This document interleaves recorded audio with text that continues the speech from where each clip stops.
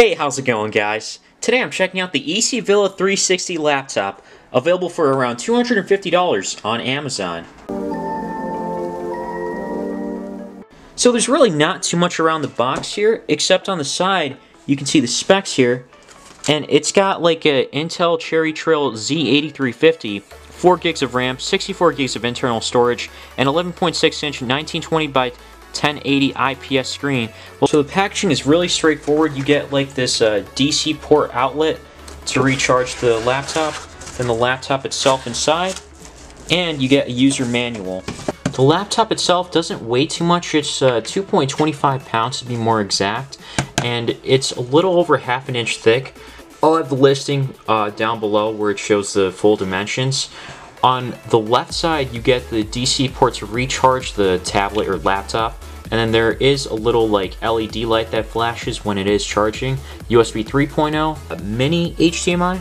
And this really isn't anything here from what I can see. It's not really a button. On the right side, you have this on and off power thing. This will either turn off or turn on the keyboard and the trackpad.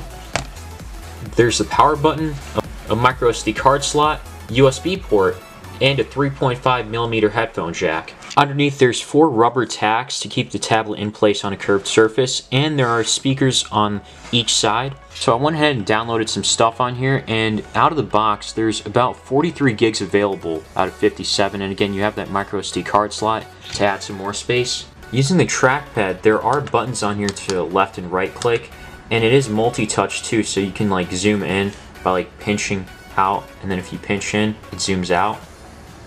Might be a second delay there. So a few things before I forget. The, the laptop itself is just made of uh, hard plastic. It just feels like cheap plastic, honestly. Looks nice. You might not expect it to be, but it is just plastic. The keyboard is pretty responsive too.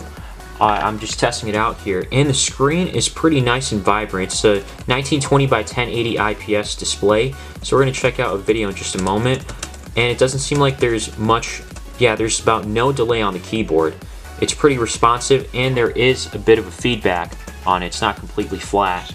I have the task manager open here. I was just playing a video quickly just to see how much RAM would be taken up. It seems like the CPU is uh, is bottlenecking or throttling. I can't remember the right word, but it's it's constantly being played at 100% while the RAM is still not hitting 4 gigs fully. So I would I would have thought that maybe 4 gigs of RAM would be limiting, but it seems like the CPU is limiting more than the RAM.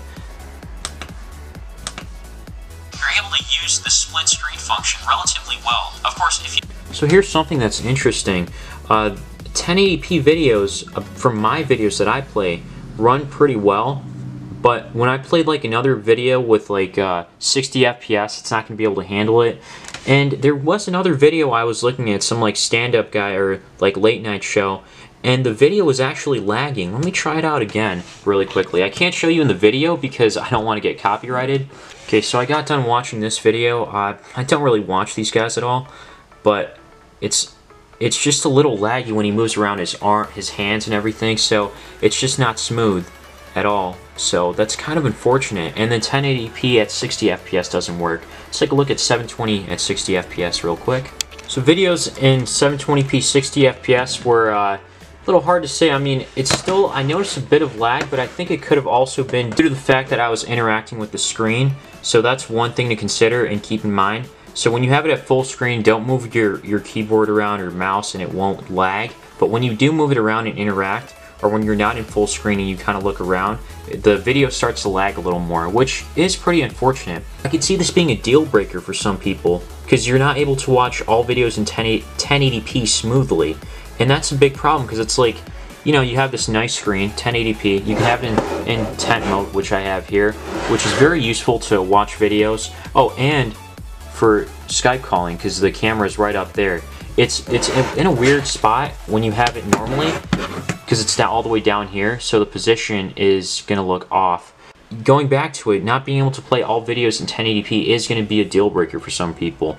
And look at that. So this is how it's positioned uh, down here. So it's like looking upwards. You can you can change it upwards if you want. But I think the best thing is to have an in tent mode when you're making a Skype call or something. And the camera quality is alright. I mean, of course, I'm not expecting too much. Uh, it looks washed out too. So the camera's there and so this is the camera and the camera quality. Quality, it's again, it's just washed out, so don't expect too much. Uh, still acceptable for a Skype call, take that how you will. Uh, you can move around too a little more compared to like a few other devices because it's like it's not as shaky or laggy when you're moving your arms around. First game I'm checking out here is Minecraft and this is the free trial version so we've got like 90 minutes to play it. And one thing I noticed is that when I start running, it the the touchpad doesn't work for like a, a second or two, but then it starts to work. I'm not sure why it does that. Now down here it looks like uh, there is a drop in frame rate. I'm not sure if the video is able to pick it up or, or not, but yeah, it's not completely smooth. So to some people this can still be playable, but you can determine that on your own. I mean, I'm looking at the camera and it seems like it is picking it up or able to. Looks like there's something above me. Usually, I guess this is better with uh, a keyboard and or like a mouse than a trackpad. One other thing I noticed about the trackpad is that if you go from uh, top to bottom here, kind of like this, it'll minimize the tray. Go just like that. It'll minimize whatever tray was up there. So that's pretty nice, uh, but I have seen it, like, I have accidentally gone from top to bottom and it accidentally, like, uh, minimized some trays. So that's kind of unfortunate. And I'm not sure if you're able to change it in settings or not, but I'll probably take a look at that later. I almost forgot to mention that this is what the settings were, so everything was pretty much on, you could say. So I'm going to turn this stuff off, like fancy graphics, smooth lighting, and whatnot, to see if that'll do the trick to make it smoother. Okay, this is much smoother. Um, I'm not sure if I'm getting a consistent 60 frames, but kind of feels like it. Yeah, not bad at all. So I guess if you lower the graphics and give it a moment, it'll go away, or it'll get much better. I mean, makes sense though. Next game we're checking out here is Asphalt 9. And so I was testing this out, and surprisingly it seems like it's playable. I'm surprised about that, and I'm not sure what it's telling me here. Do a spin. And again, it is playable. There is a bit of slowdown. I have it to the lowest settings, uh, or the default settings. I did change the resolution scale, if I, but nonetheless, I'm surprised that it can even play this. Uh, this is from the Microsoft Store. It's a free game, Asphalt 9.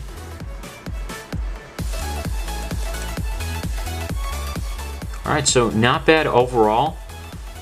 So my first impressions is that, yeah, this is kind of uh, a little better than expected. I was disappointed in some areas, mainly when you can't play videos in 1080p without noticing a bit of stutter or lag uh, while you're watching them. It's not completely smooth, which is very unfortunate because it has a nice screen, so that's why. At the time of this video, you can get this for $242, $241 because there is a $20 coupon code when you apply it, so just under $250.